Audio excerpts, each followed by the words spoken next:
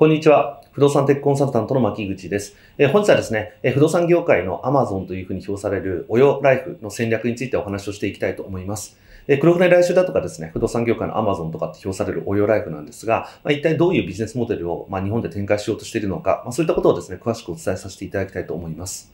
えー、オヨはですね、まあ、オヨルームスっていうのが、まあ、インドの本社なんですけれども、リテシャガーウォールっていう、まあ、18歳の洗礼がですね、2012年に考えたサービスなんですね。まあ、2012年にですね、リテシャガーウォールは Airbnb 向けの事業でオラベルステイツっていうのを、まあ、考えてですね、そのサイトを立ち上げたんですね。で、それで Airbnb 関連事業をやっていこうということで、まあ、インドのですね、100ぐらいのお部屋にですね、3ヶ月かけて泊まったんですけど、あまりにもそのステイの、まあ、状況が悪かったと。まあ、なので設備、え理念がまあ悪いとかですね、設備が壊れてるだとか、そういう状況を見てですね、まあ、だったらそれを改善するサービスをややろうということで、2013年の5月にですね、立ち上げたのが、オイオルームズですね。インドに旅行に行った人からはよく聞くんですけれども、オンラインのサイト上に載ってる情報と、まあ、実際が全然違うみたいな話ってのはよく聞く話ですね。えー、まあ、写真と全然違うお部屋っていうところだけじゃなくて、エアコンだとか、えー、給湯器が壊れてるだとかですね、Wi-Fi ついてなかった実はみたいな、そんな話があるので、まあ、そこの改善をしていこうっていうのが、オヨルームスがやってることですね。で彼らが売りにしてるポイントとしては、スタンダードサービスクオリティっていうのと、 good feedback system、regular employee training、あと affordable price ということで、標準化されたサービスというものを、まあ、ちゃんと訓練されたえ社員によって提供して、それを手が届きやすい価格で提供するっていうのが彼らの売りになっています。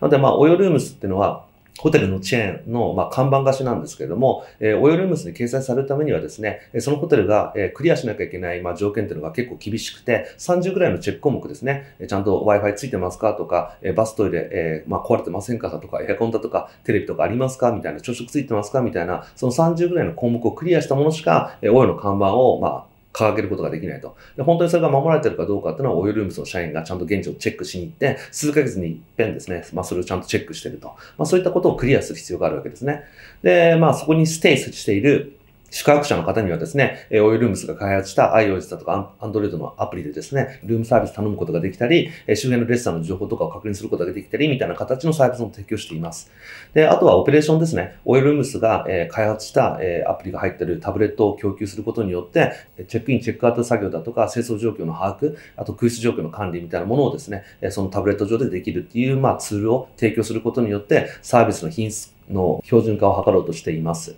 えー、まあ、それが非常に受けまして、え今では500を超える都市に応用ルームスっていうのはサービスを提供していて、33万部屋というものが提供できているということで、急成長しているわけですね。えー、まあ、そのためにですね、彼らはまあ一生懸命資金調達をしていて、オイルルームスはこれまで12回の資金調達のラウンドをこなしています。え直近のラウンドではですね、時価総額なんと5500億円ということでですね、えー、まあ、設立から5年ぐらいしか経ってないのに、時価総額5000億円以上のユニコーン企業を作ったってことで、リテッシュ氏はですね、今インドのヒーローになってるわけですね。じゃあ彼らのビジネスモデルのコンセプトは何かというと、旅するように暮らすっていうふうに歌われてるんですが、これまんま Airbnb じゃんって話になるわけですけど、まあ、Airbnb と、まあ、彼らのサービスが大きく違うポイントは、まあ、実はその商品の品質にあるわけですね。えー、まあ、Airbnb っていうのは多様性のある部屋を多様な、まあ、人たちに届けるってことが一つの売りになってるわけですけど、まあ、オヨールームスというのは、標準化されたサービスを低コストで提供するっていうのが売りになってるわけですね。なので分かりやすく言うと、Airbnb がセレクトショップ、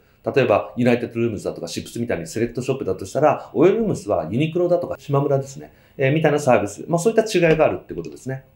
で、こうしたビジネスモデルですね、ホテルの質が良くないエリアだからこそ受け入れられるサービスっていうことで、なので、まあ、インドだとか、中国だとか、まあ、インドネシアだのみたいな東南アジアだとか、そういったところでどんどん事業領域を伸ばしてるわけです。まあ、一方でですね、ヨーロッパだとか、まあ、日本みたいにですね、ある一定の品質が、まあ、担保できるホテルっていうのがもうすでにチェーン化されているっていうところだと、なかなかサービスの提供難しいだろうなっていうふうに評価をされてきました。まあ、そんなオヨなんですが、ソフトバンクと組むことによってですね、まあ、ソフトバンクは今、オヨの株半分ぐらい持ってるって言われてるんですけど、まあ、日本の市場にもいよいよ参入するといういうことで、えーオヨライフとオヨホテルっていう、まあ、2つのブランドを作ったわけですね。えー、で、オヨホテルの方はまだ事業内容っていうのは公表されてませんので、まあ、本日はですね、もうすでに事業が開始されているオヨライフの方を、まあ、見ていきたいなというふうに思っています。えー、オヨライフはですね、オヨテクノロジーホスピタリティジャパン株式会社ということで、えー、千代田区の大手門タワーに、まあ、本社を構えてるわけですね。いや、一体何やってるところかっていうとですね、まあ一言で言うと、まあサブリース、えー、天体ですね。えオーナーさんから、えー、まあ25%オフぐらいでですね、物件借り上げて、そこに20万ぐらいのカス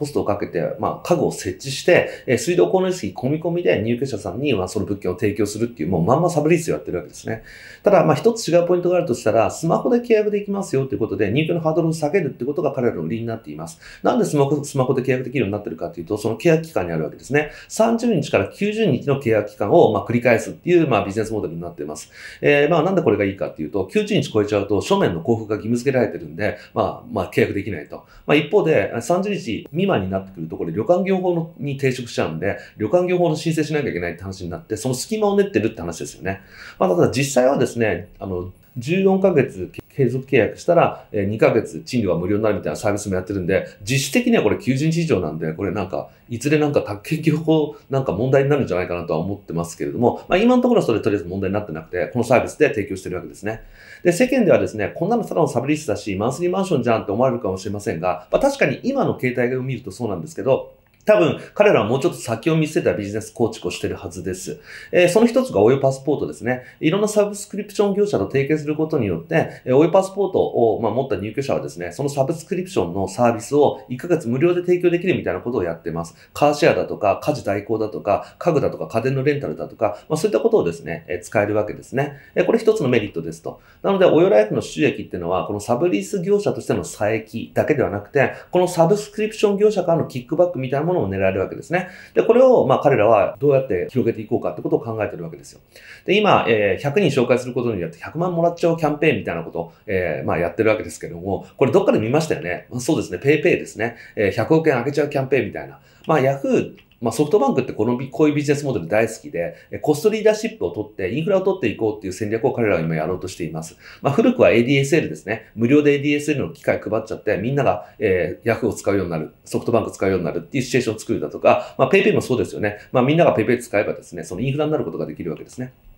なので、まあ、明らかに今彼らはコストリーダーシップ戦略を取ってるわけですが、えー、まあ、その結果、赤字確保でですね、どんどん事業領域を拡大しようってやってます。えー、事業収支簡単に分析してみますね。オヨテクノロジーホスピタリティジャパンの、えー、資本金は今41億円ですね。えー、で、今、5500、えー、部屋借り上げることができたって言ってるんで、まあ、大体まあ、一、一部屋あたり、まあ、2万5千とか3万円ぐらいのあの、最益だでしょうから、え大体1年間あたりの売り上げになってくると、マックスで16億円ですね。まあ、サブスクリプション業者からのキックバックどういうふうに設定してるかわかりませんけど、仮に20%とした場合に、まあ、マックスで大体、まあ、1.3億円。なので、事業上今売り上げとして見込めるのって17億円ちょっとぐらいなんですよ。まあ、一方で今すごいお金かけてキャンペーンもやってますし、あと人もどんどん採用してやってるわけですね。今600人ぐらい社員がいるって言われてるんで、えー、まあ、マッキンゼとかボスコンからとかからも社員取ってるっていうので、まあ、結構質は高いはずですね。福利厚生費とか考えると大体一人当たり600万ぐらいはかかってるはずです。そうすると人件費だけでも年間36億円ぐらい必要になってくるわけですね。で、600人になってくると、一人当たりのオフィスの坪単価ってミニマム大体3坪ぐらいですから、1800坪ぐらいのオフィス必要になってくると、それ大手門タワーで借りてるわけですよね。なのでまあ、それで考えると、あそこら辺坪単価はまあ大体2万円ぐらいですから、4.3億円ぐらいがオフィスにかかるお金になってくると。で、まあ、初期投資ですよね。一人当たり20万の家具とか設置するって言ってるんで、5500円になってくると、これだけで11億円ですね。まあ、プロモーションにいくらお金使ってるかってわかんないですけど、間違いなく億単位使ってるわけなので、まあ、こうした諸々の状況を分析すると、まあ、初年度だけで34億円の赤字ですね。まあ、普通の会社こんなことできませんねって話なんですけど、じゃあどこまでこれが伸びるかっていう話ですね。まあ、仮に10万室の管理まで、まあ、行った場合にですね、えー、まあ、300億円ぐらいの売り上げが見込めて、プラス204億円ぐらいの収益になってくるってことで、うふわふわの状態なんですが、まあ、彼らが狙ってることって多分これじゃないんですよね。なぜかというと、このビジネスモデルっていうのは、え、いずれ破綻するからですね、参入消費が圧倒的に低い。どこの会社でも同じことやろうと思えばできちゃうわけですよ。別に何の規制もないですからね。30日から90日で、まあ、スマホで申し込みできるなんてことのアプリなんて、こんなの、まあ、ちょっと気の利いたシステムエンジンだったら2、3ヶ月で開発できちゃうんで、もうすでに、例えば100万個物件を管理している大東建託が、じゃあ同じことやろうって言ったら、2、3ヶ月で多分同じことできちゃうんですね。えそれをまあ、やらな、やらせないためにはどうすればいいかっていう話なので、今、オヨライフの方はコストリーダーシップ戦略取ってですね、まずは一時的な競争優位の環境を作っていこうってことを考えています。まあ、彼らが不動産版の Amazon って言ってるのは、今の段階で言うと、簡単にポチッと賃貸の申し込みができますよ、煩雑さがなくなりますよって言ってる部分で Amazon って言ってるだけで、まあ、こんなのは誰でもできちゃうわけですね。なので、彼らが先に見据えてるところってのはその次の段階ですね。今の段階では単なるマンスリーマンションのテクノロジープレイヤーでしかないんですが、彼らが本当に Amazon を狙ってるんだとしたら、プラットフォーマーになっていかなきゃいけないっていうところですね。まあ、プラットフォーマーになっていくってことはどういうことかというと、みんなが使ってるっていう状態を作っていくってことですよね。なので、みんながまず賃貸物件借りるときに、まず先にオヨを見に行くっていう状況を作れば、それは確かに賃貸業界版のプラットフォーマーである Amazon と言っても差し支えがない。まあ、そういった状況をどうやって作っていくかってことを彼らは考えてるはずです。なので、その状況を作るために、これからどんどんオイはですね、不動産業者とのアライアンスを進めていくはずです。まあ、事実、大東建託リーシングパートナーズとオイが先日事業提携を発表しましたが、えー、まず、大東建託で物件探しているお客さんが、まあ、気に入った部屋がなかったら、一時的にオイのお部屋に住むことができるっていう、まあ、アライアンスなんですね。これ非常に賢い一手だと思います。えー、大東建託が自分たちでやり始める前に、もう事業提携しちゃって、自分たちのサービス使えば同じようなことができるんで、だったらうちに相乗りしませんかっていう提案をすることができる。できるまあ、こうして事業提携先どんどん増やすことができればですね、えライバルの参入を防ぐことができるわけですね。まあ、参入障壁が非常に低いので、まあ、こういったアライアンスでですね、参入しない状況を作っていくっていうのが、まあ、彼らがやらなきゃいけないことですね。